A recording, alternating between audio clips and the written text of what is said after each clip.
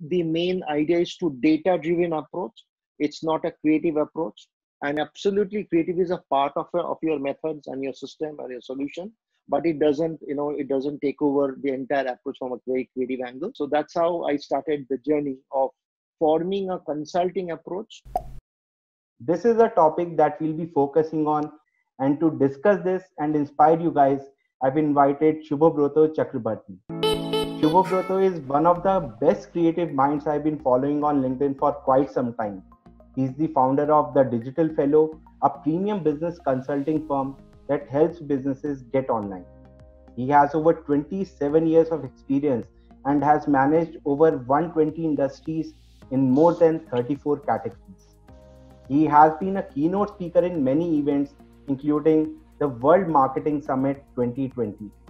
He has been awarded the Digital Influencer of the Year 2019 award and also the Top 100 Smartest Digital Marketer award. Apart from this, Subhobroto is also a jury at APAC MMA, that is Mobile Marketing Association. Along with that, he is also a jury and advisor at ASEF Global and Asian Forum Awards. He likes to talk about digital marketing, personas, and sometimes like to likes to bust myths on digital. He also writes a weekly fun column on exchange4media called Why So Serious. I'll stop with the introduction now because believe me, I can keep on going. So let's welcome Subhobroto. Thank you so much. Thanks, Shubham, Thank you so much. Thanks for inviting me. Invitation. I'm really thrilled to have you here. Thank you so much. How are you doing? I'm good. I'm good. Thank you so much. In fact, I'm really happy. So, Subhobroto, So, let's yeah. start with the discussion. How did the Yeah. Digital Fellow come about? Please share a bit about your Uh, professional journey. Uh, I think uh, after working for almost for 25, 26 years, uh, I was realizing that there's a huge gap between the top management, the top people, the CEOs and the CXOs who are around 40 plus. They come from a very traditional background. They're too much busy with their own job, and that, that is the reason they're too much into the job, and that is the reason they don't learn, and that is the reason they, they take wrong decision. They have very no idea of social marketing not on they're on Twitter, they're not on LinkedIn. They think they've created an account, but they don't post, right? They're very inactive, right? They must have forgotten the passwords also. So all these things uh, uh, was little tragic, you know, very, very tragic in when it comes to you're working with the senior and superior who are not a profound by in terms of knowledge. By degree of their designation, they're only senior. So that makes makes me, you know, that was making making me very uncomfortable. That is when I thought I should I should quit my job and I should uh, start a school. So the first idea was to start a school, you know, a digital Okay. school where I wanted to, you know, uh, teach and educate. But some of the other reason that school didn't happen that time, three years back when I was thinking uh, to launch this school. And that is the reason I thought, what do I do? Should I do a, a consulting format or do I start an agency? Then I realized all my life I was working into an agency. I was working with the agency, with the creative directors, content design, uh, shoots, production, film, and all this stuff because I was in a brand uh, and a marketing guy all my life. So mm, the, the the reason I saw uh, is not that I wanted to get into the agency format. Is that agency business drive on creativity, and consulting business drive on knowledge. There's a huge, vast difference of approach or the difference of method or methodology which an, a consultant consulting format do. So that made me felt no, I don't want to get into the creative part. I have little bit of knowledge and I keep on upgrading myself. So I thought uh, a consulting approach will be a right approach, and very very difficult for me to establish uh, a consulting format in a market where people don't understand what is a consultant, what is a business agency. They think it's maybe a very nice name. It's it's it's actually an agency, but you're quoting it with the name of a consulting. Yeah. So it took me a lot of so that, that is the reason I thought I think I, I- started educating people that what is an agency and how a agency work and how is a consulting security consulting work. So that's the uh, crux of the germination of uh, Digital Fellow happened. So that's how I started the journey of forming a consulting approach. Yeah. The main idea is to data driven approach. It's not a creative approach and absolutely creative is a part of, of your methods and your system and your solution. But it doesn't you know it doesn't take over the entire approach from a very creative angle. Uh, and, and in a digital you know plethora if i tell you the entire digital platform uh, 99% is actually science. Even if you're making an app or a wireframe design it is based on a science. So this is a huge gap i realize that industry don't understand. They they look for options right? So so that's the crux of formation of an Yeah. digital. And it's pretty interesting that you saw this huge gap. Yeah, this is interesting. And one thing which you just now mentioned that 99% is science, 1% is creativity. Most of the people would argue that creativity is, for example, content writing, you have to be creative. You have to know how to write a story, right? Yeah, yeah. So yeah, just explain this. How, why do you say that it is Uh, 1% creativity? let me answer a little bit of it so that uh, our conversation becomes very important for people who don't understand or who are willing to learn is that i realize in india if you if you divide india into a into a triangle the top part are the kpmg boston uh, accentures of the world sitting which is pure consulting right and the bottom part are the individual people who are working for 10 years 20 years 30 years they go out and consult different brands right as a individual consultant they don't have a team they just go and advise it's more of an advisory level the middle Yeah. part is, is, is a part where there's, these are the SME. They cannot afford to Accenture or Deloitte or Boston of the world or McKinsey of the world. Neither they are happy with the guy who is uh, only advising. They want execution to be done. So I figure out there's a huge gap where it can be filled.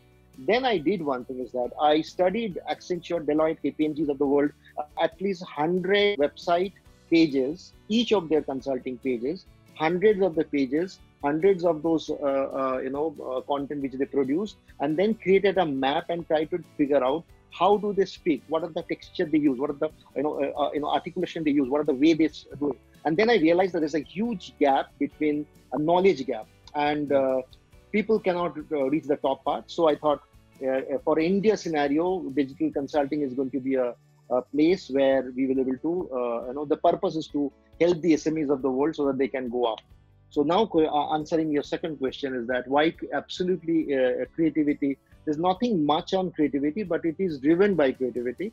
But the science behind creativity is, you know, absolutely like content.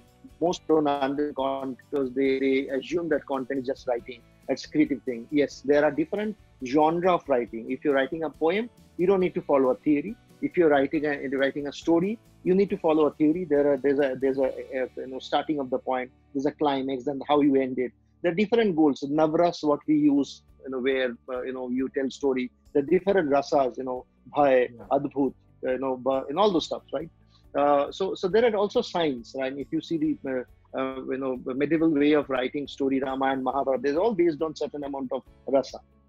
Now in, in a modern world what happens the content are divided into a funnel right? A funnel which is a reverse funnel. This looks like this a reverse funnel where it start with no need stage which i don't know i don't need that. No I, I don't care about it. In fact i've never heard about it so i don't realize to buy it or to use it or to consume it whatever right? Second is called tofu mofu, mofu and bofu. Top of the funnel middle of the funnel and bottom of the funnel. In the top of the funnel you are in an awareness stage. In middle of the funnel you are in a consideration stage. You're considering to uh, between two three brands or two three things which you want to buy. And the last age uh, stage is the bottom of the funnel where you actually decide and take a call.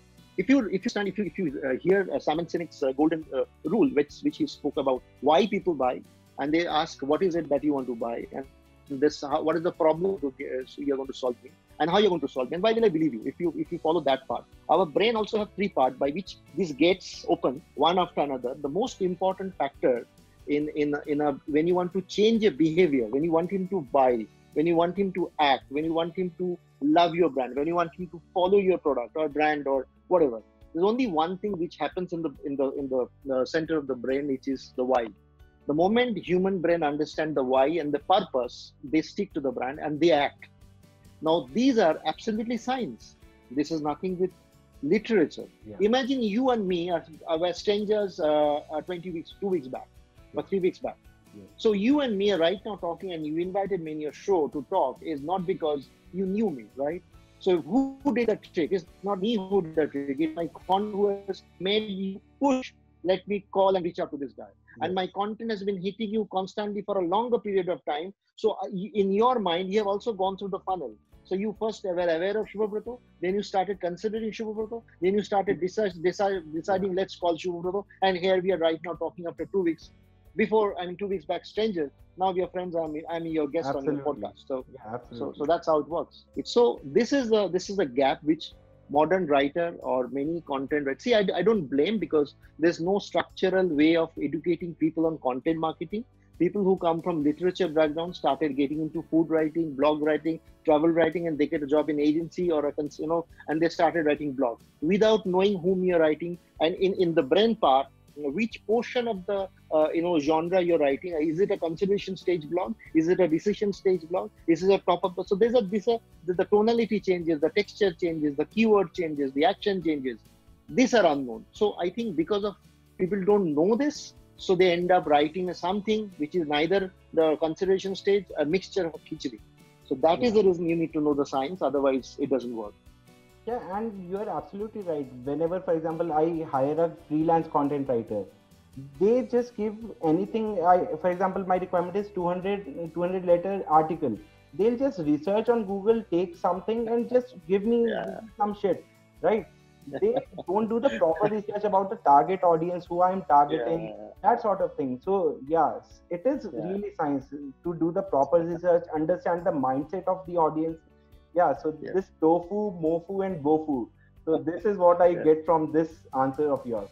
Yeah that's really interesting okay. There's also a funnel on the top. A little you know sorry since we're talking really excited. On the top is also called no need stage. Okay. When you don't need the product you don't you're not part of awareness you don't even know that it exists. Yeah. how do you pull that guy into an awareness? Then you pull him to a consideration. Then mm-hmm. you pull him to a decision. And yeah. then he finally buys it. So yes. science. So, i have been doing it for the last uh, three and three or four years time so digital is one place where if you come occasionally and show up algorithm doesn't uh, you know treat you well.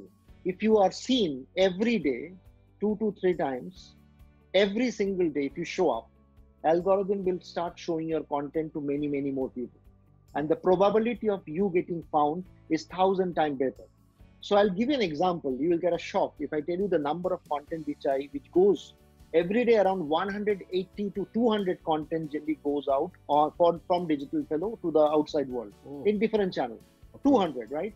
So it's not that 200 unique but at least uh, 10 or 15 unique. Rest into like in linkedin we go to 15 20 groups. On facebook we have some 20 groups like that. Okay. so uh, around 200 which means 76000 content get published from digital fellow. Wow. 76000 content even on sunday it goes out so what happens? When you spray so much of content meaningful content helpful content it doesn't sell anything. It's very it's not selfish content. It's a, it's a helping content right? You help right? You motivate. You you you tell them the tricks. You educate them. You change their mindset. If you're giving so much so this is uh, what inbound marketing teaches you. It's, uh, it's like a karma. What it, what gives out comes comes in. If you're educating so much doesn't matter whether you're on linkedin or you're in any channel you will definitely grow as i said 99% of the business come uh, from linkedin. And 99% uh, of the business who comes to me i don't know them. They're all strangers. Hmm. which means i could pull them from a no need stage to consideration stage to decision stage in with the help of my content